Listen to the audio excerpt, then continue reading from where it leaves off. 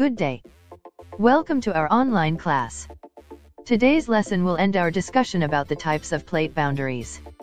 We're done talking about bumping plates and breaking plates. Now, we are about to tackle the third type, the transform fault boundaries. You will know what happens when plates glide to each other. So get yourself ready. Grab your pen and notebook. Scoop and write things you find important. I am Teacher Dagz. And let us have happy learning here at Science Scoop. Here are the objectives of our lesson for today. At the end of this video lesson you should describe transform fault boundaries. You are also expected to differentiate the two types of transform fault boundaries. Another objective of this video lesson is for you to determine the effects of transform fault boundaries.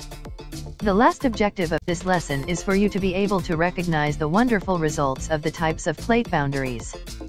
Before we go to our discussion about gliding plates, let us have this simple activity that will make you recall the first two types of plate boundaries that we have already discussed. Let's call this marking boundaries. In this activity, you will see 12 words that you can relate to either converging boundaries or diverging boundaries. Thus, you need your pen and notebook this time. Make a table with two columns and seven rows. In the first row, under the first column write converging plates, and for the second column, write diverging plates. The 12 words are divided into three sets. For every set, you have 15 seconds to write your answer accordingly. After the third set, the correct answers will be shown. I hope you answer this activity with flying colors. Are you ready? Then grab your pen and use your brain cells. These are the words for set 1. Mark their boundaries now.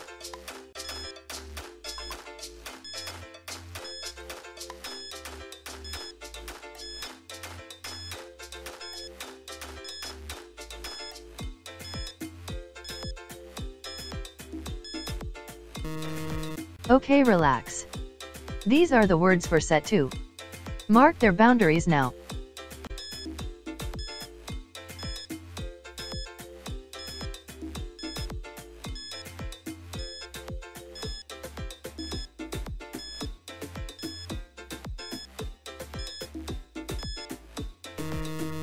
We are almost done. Now, mark the boundaries of our set 3. Start writing your answer.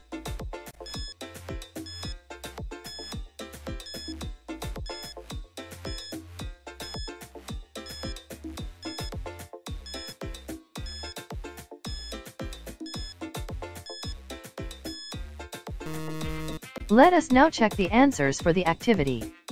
For the first column or the column for converging boundaries, check the following words in no particular order. Mountains. High plateau. Subduction. Bump. Island arc and destructive. For the second column or the column for the divergent boundaries, these are the words. Rift Valley. Constructive. Wider ocean. Separate. Form new crust. And ridges. How's your score? I bet you've got a good one. Let's now discuss the last type of plate boundaries. This short video shows what happens to transform fault boundaries. Can you see what is happening? How do plates move? Is there a subduction zone? Is there a gap between the plates? What is formed when plates glide to each other? We will answer all these questions as we have our discussion about the last type of plate boundaries. Transform fault boundaries happen when two plates slide past one another. The fracture that forms a transform fault boundary is known as a transform fault. Most of the transform faults of the Earth are found in the ocean basin. Transform fault boundaries are called as the conservative type of plate boundaries because along the sliding plates, the Earth's lithosphere is neither created nor destroyed.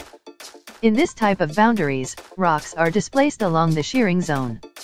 This picture shows the displaced rocks at Pinnacles National Park, California. At the shearing zone or where the plates glide against each other, shallow earthquakes happen frequently. Massive rocks are torn apart and displaced tens to hundred miles away along this area. There are two types of transform fault boundaries. Oceanic-oceanic transform fault boundaries and the continental-continental transform fault boundaries. Majority of the sliding plates are located at the ocean basins. So let's discuss the oceanic-oceanic transform fault boundaries first. This map shows an example of oceanic-oceanic transform fault boundaries. As you can see, the Caribbean plate is sliding east-northwest to North American plate. The two plates are capped by oceanic crust. The plates move around 0.8 inches or 2 centimeters per year. This is the result of the shearing plates of Caribbean and North America, the Virgin Islands. This Virgin Island National Park is a sheared-up landscape having a number of displaced rocks. The other type of transform fault boundaries happens when a continental plate slides or glides against another continental plate. There are only few continental-continental transform fault boundaries. Before I give you examples of the continental-continental transform fault boundaries, I will tell you a shocking trivia. Do you know that the Pacific Plate carries a little continental crust? Here, at the edge of the Pacific Plate, it has that continental crust. Thus the motion between the North American Plate and Pacific Plate at this point is continental-continental transform fault boundaries. The shearing plates have resulted to California's sheared-up landscape. One of the evidences of gliding plates is the appearance of fault along a narrow valley like the San Andreas Fault of California. This feature is the famous San Andreas Fault. Along this fault, destructive earthquakes have happened in North America. The North American people call the next possible tremendous shake as their big one. Despite the danger this fault could give, it showcases a spectacular scenery along the coastal regions of California. This is another continental-continental transform fault boundaries between the Pacific Plate and the Indo-Australian Plate. As these two plates slide past each other alpine fault formed in New Zealand.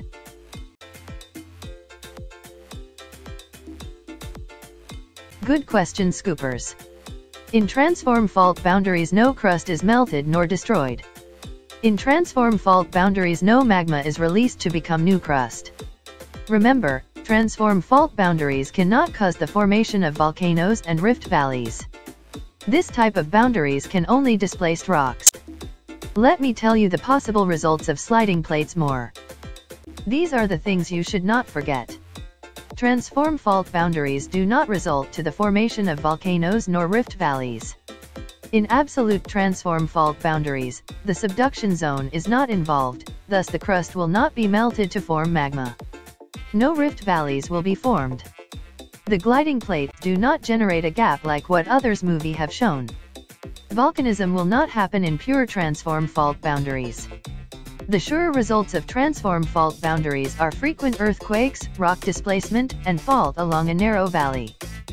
Before I end my lecture about transform fault boundaries, I want to repeat this. Sliding or gliding plates is the conservative type of plate boundaries. It only results to rock displacement and frequent earthquakes. Aside from displaced rocks and earthquakes, faults along narrow valley may be formed like an Alpine Fault and San Andreas Fault. And that is the end of our discussion about the three types of plate boundaries. I hope that you clearly understand how the lithospheric plates behave. For you to appreciate the results of plate tectonics, let us have this wonderful exercise. Let's call this, Wonders I Wonder. In this activity I will show you pictures of wonderful sceneries around the globe. Tell what kind of plate boundaries form each wonder. You have 10 seconds per picture. After the given time, I will tell you the answer. Are you ready? I hope you remember the results of each type of plate boundaries. What type of plate boundary caused this wonder to be formed?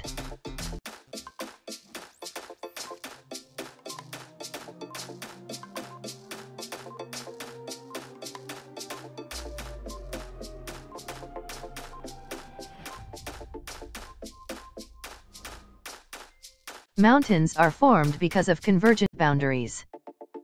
What type of plate boundary caused this wonder to be formed?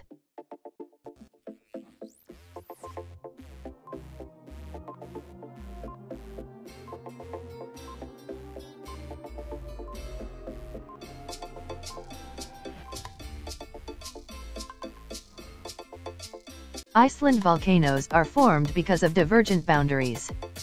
What type of plate boundary caused this wonder to be formed?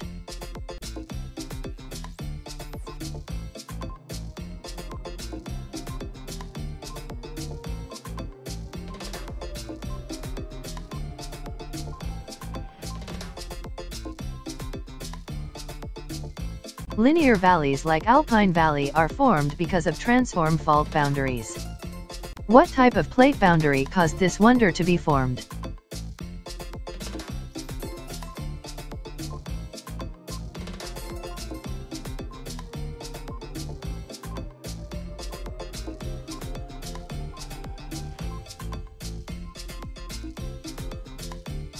Island arc is formed because of convergent boundaries. What type of plate boundary caused this wonder to be formed?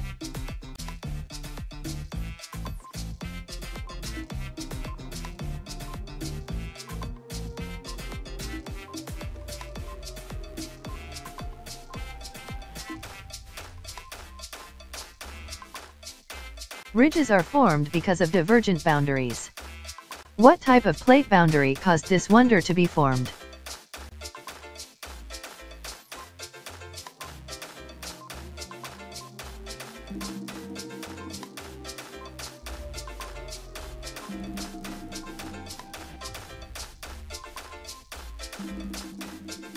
Fault along narrow valley is formed in transform fault boundaries.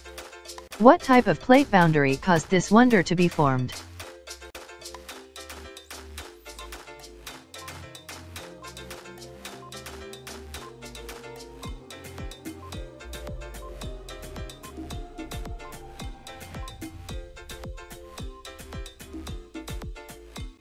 Is formed because of divergent boundaries. What type of plate boundary caused this wonder to be formed?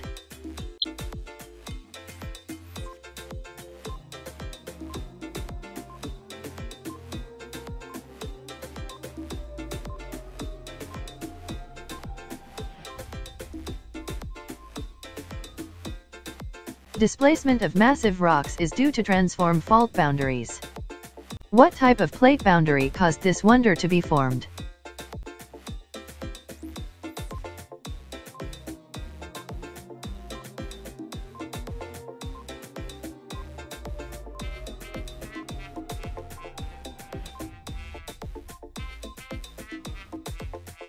Rift Valley is formed because of divergent boundaries. What type of plate boundary caused this wonder to be formed?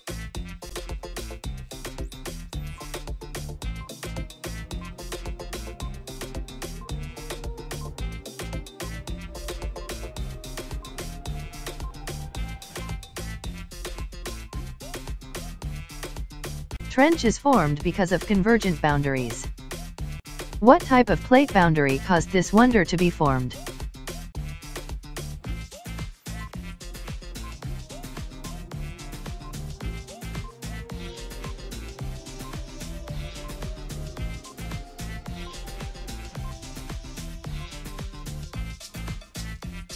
Mountains are formed because of convergent boundaries. What type of plate boundary caused this wonder to be formed?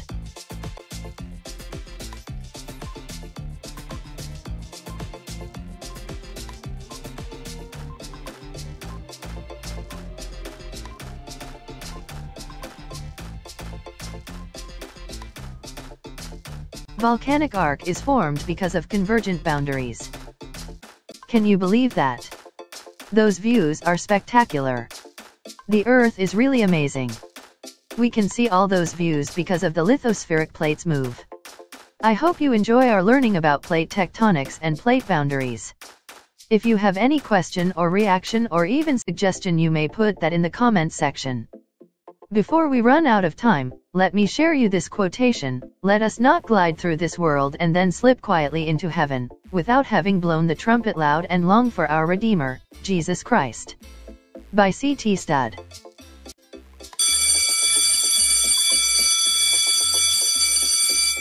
The bell has just rung. See you next lesson. Goodbye.